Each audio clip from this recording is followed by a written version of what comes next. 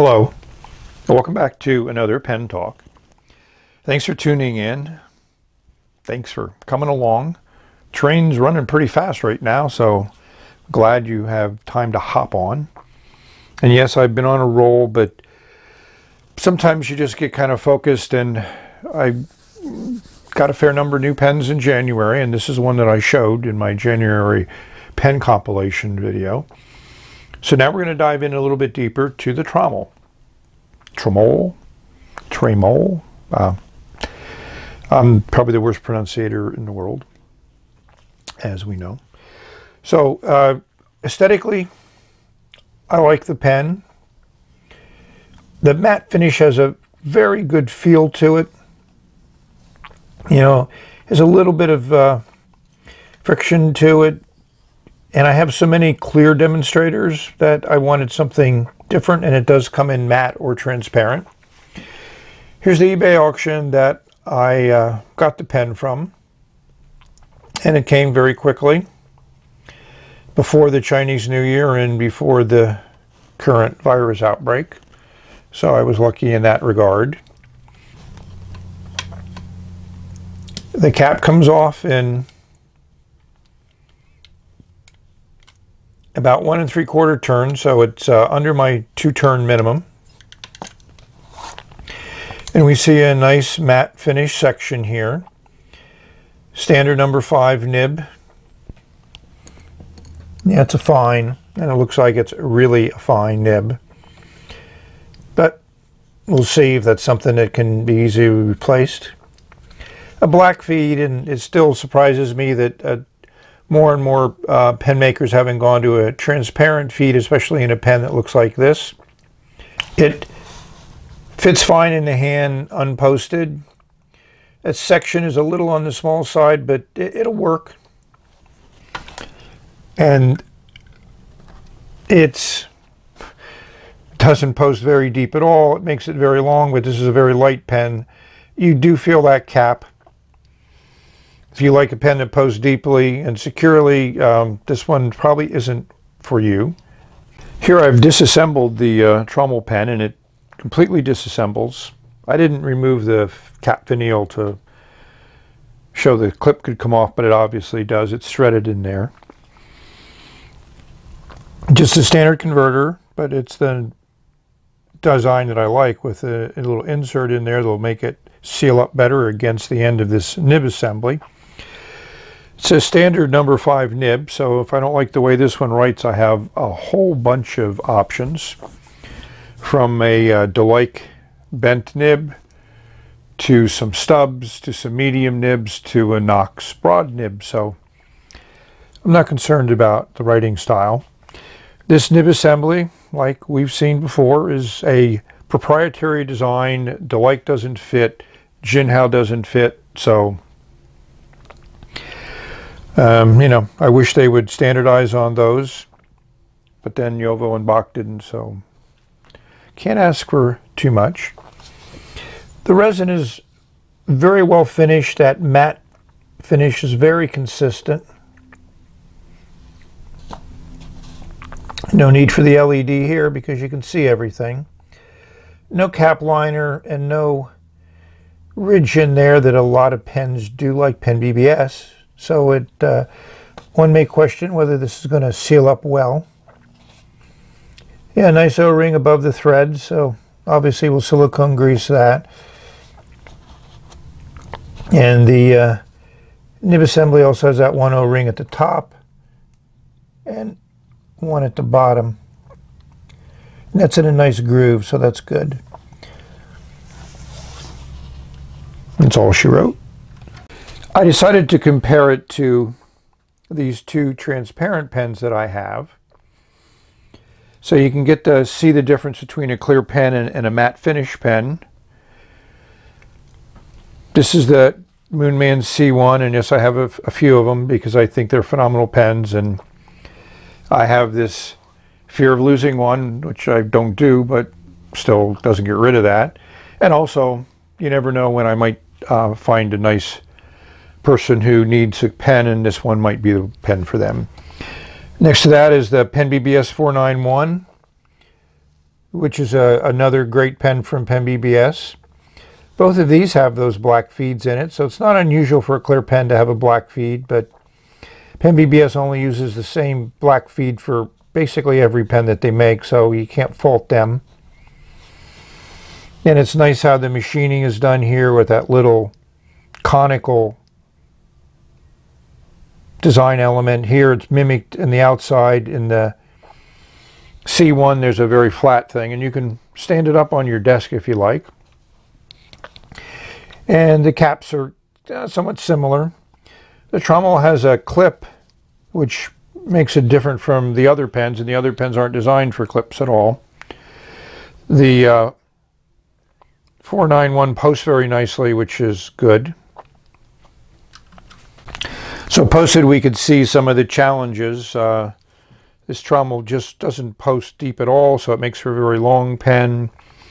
The 491 post a little bit deeper, but still not real deep, not like a 266-308 would or a 352 would or some of the other Pen BBS models. And of course the C1 doesn't post at all. Let's look at the sections.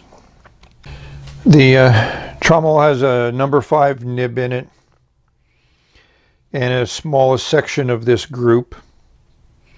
So that's its downsides. Considering it costs more money than the Pen BBS pen, it kind of gives it a little bit of a knock from, from my perspective. And of course the C1 is a pen unto itself nicely designed section and I do like the color of that section and it does come and varies from kind of more red to more purple and different versions in between. You get whatever comes out when they ship it to you. And there's a nice number six medium rounded medium nib on the pen BBS pen which is so these two I know have exceptional nibs on them. I don't have high hopes for the Tramol nib but I have a lot of options if I don't like that nib. The nib is branded Looks like they took a generic iridium tip nib and just put their name in there, and it's an F for fine. We're going to do an eyedrop fill on the Tramol pen. So we have the necessary instruments, a um, hypodermic with this long blunt needle, good for reaching down to the end of a bottle, the bottom of a bottle. Here's an ink I haven't used in a long, long time. I have the barrel in this nice ink miser container, which is good for also sample ink things. I have my section with the O-ring and those threads with silicone grease on it. So we're going to open up the bottle. So it's a full fill on the hypo. Now we're going to go to the barrel, insert the hypodermic needle down into the barrel and fill it from the bottom all the way up. And took about four milliliters of ink.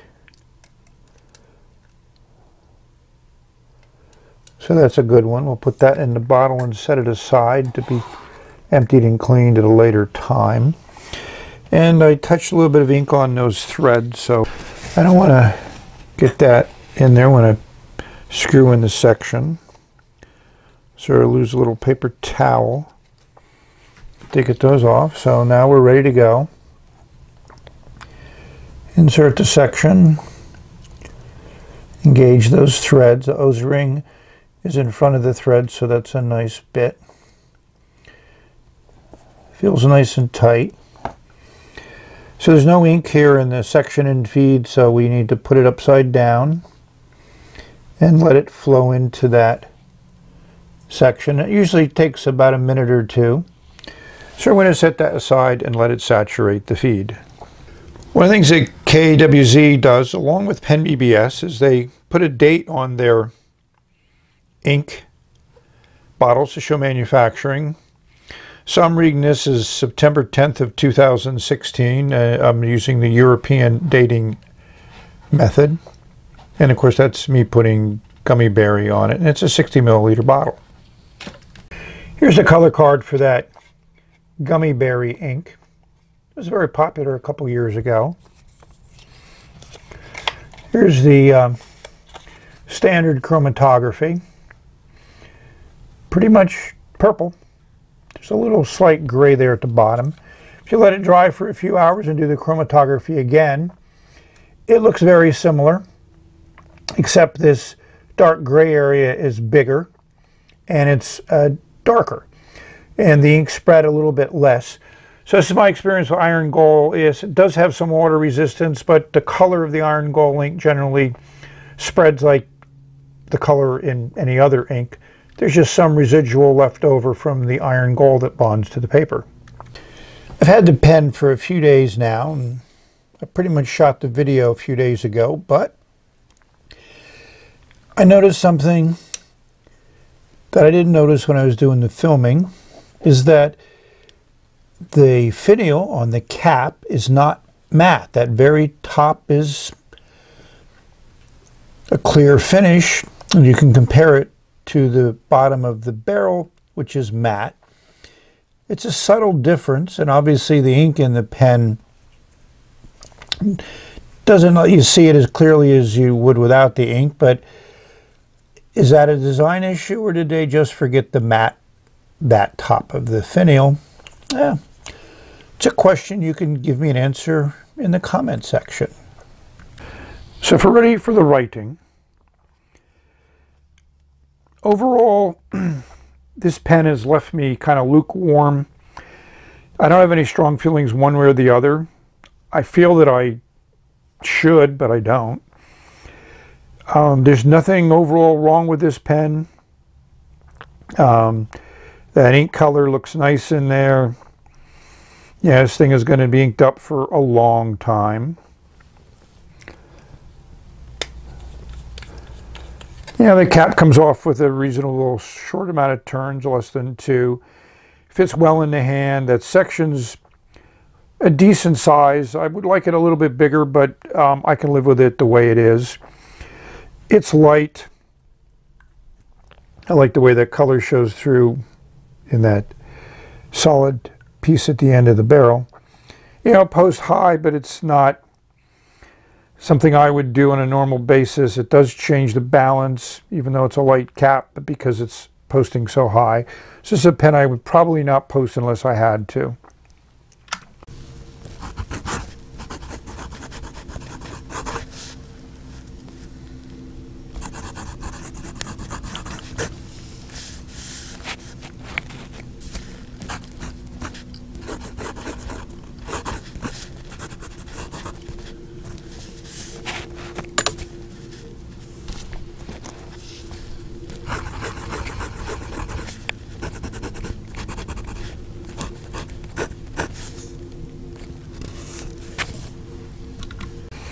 I mean, it's a relatively smooth nib. It has a decent amount of feedback, especially on this Fabriano paper. But it doesn't do anything for me. It's a blah nib. I don't usually do reverse, so let's see what reverse is like. Ah, it's smooth and it's an extra, extra, extra fine. Not something I would do on a regular basis. It does lay down this ink very, very well, which is, is kind of what I'd hoped for, but not expected. So let's rate this pen.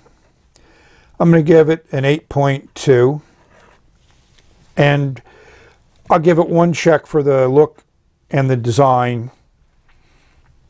But uh, other than that, doesn't float my boat.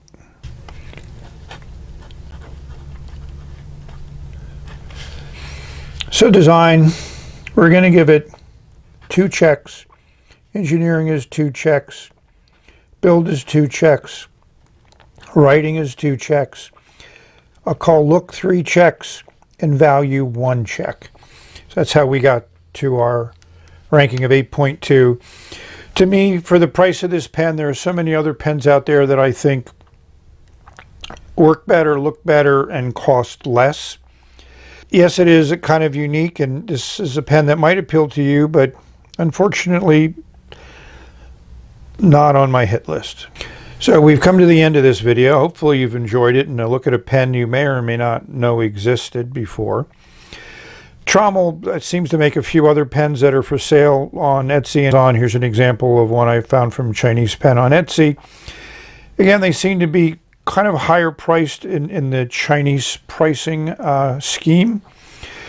And to me, that kind of lessens its value. And that nib is just not exciting or anything to write home about. And yes, I can swap it out for other number five nibs, but I'm trying not to do that and trying to review the pen that I received and if you bought it, that you would receive. So thank you for watching. May you have many wonderful writing experiences and just get your rocks off putting ink on paper. And that's what it's all about. And having a nice instrument in your hand to, to do that with. So this is the end for now. And then we're going to say bye until the next video.